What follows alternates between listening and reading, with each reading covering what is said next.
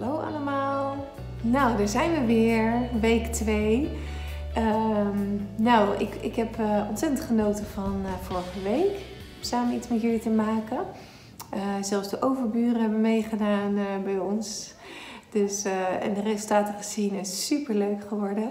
De regenboogjes. Um, en vandaag gaan we weer wat leuks samen doen. En uh, ook weer iets zonnigs en iets gezelligs. En uh, nou ja, de zonnestraaltjes uh, komen lekker al in huis. En ja, je wilt natuurlijk het liefst zoveel mogelijk buiten zijn. Helaas kan dat nu niet. Maar ik dacht wel van, nou ja, om alvast een beetje voor te bereiden op straks als we wel weer lekker naar buiten gaan. Daarop uitgaan, lekker naar het strand gaan. En ehm, lekker in het bos gaan wandelen. Gaan we een leuke tas maken. En die tas is uh, in principe heel eenvoudig te maken. Die kan met uh, naaimachine of zonder naaimachine gemaakt worden.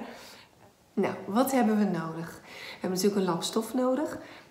Nou, waarschijnlijk heb je nog wel wat liggen op zolder. Een oud gordijn of een oud tafelkleed. Um, we hadden toevallig nog een lap, daar moest ik ineens aan denken, die heb ik niet eens gebruikt. Maar een lap uit Bali met een mooie printer op. Die kan natuurlijk ook heel goed gebruiken. Um, nou, kijk gewoon even wat je hebt. Mocht je echt niks meer hebben, kan je natuurlijk altijd bestellen. Uh, we gaan eigenlijk beginnen met uh, het knippen van de stof.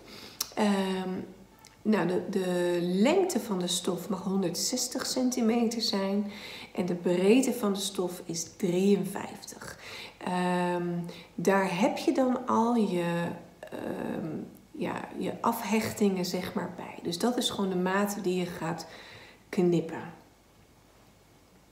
Dan leg je hem vervolgens uh, leg je hem op de grond, de hele, uh, de hele lap stof.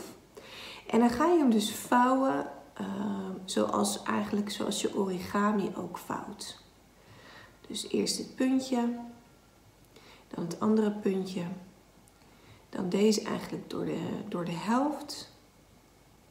En dan zie je dus dat er een naadje aan beide kanten is. En dat naadje aan beide kanten die mag je dichtnaaien. Dat mag met de hand, dat mag met de machine.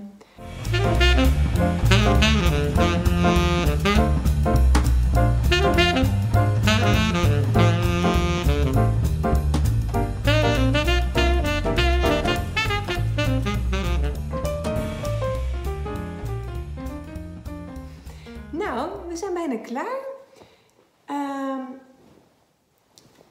Zo ziet hij er nu uit.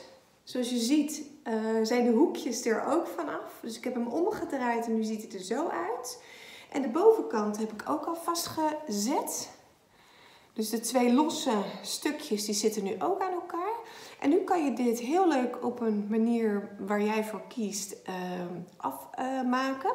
je kan bijvoorbeeld kiezen om een stukje stof wat je nog over hebt uh, om dat er omheen te binden en dan bijvoorbeeld de andere kleur juist uh, te gebruiken. Of je kan kiezen om er uh, draad omheen ehm, te draaien. Dus ja, dat is helemaal aan jou.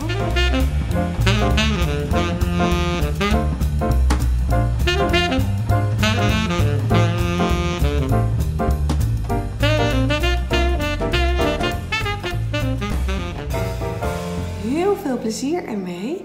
Uh, ik ben heel benieuwd naar het resultaat en uh, hoop het ook uh, te mogen zien. En ik ben heel benieuwd hoe het gelukt is allemaal. Uh, laat het me weten. Nou, volgende week weer een nieuwe Do-It-Yourself.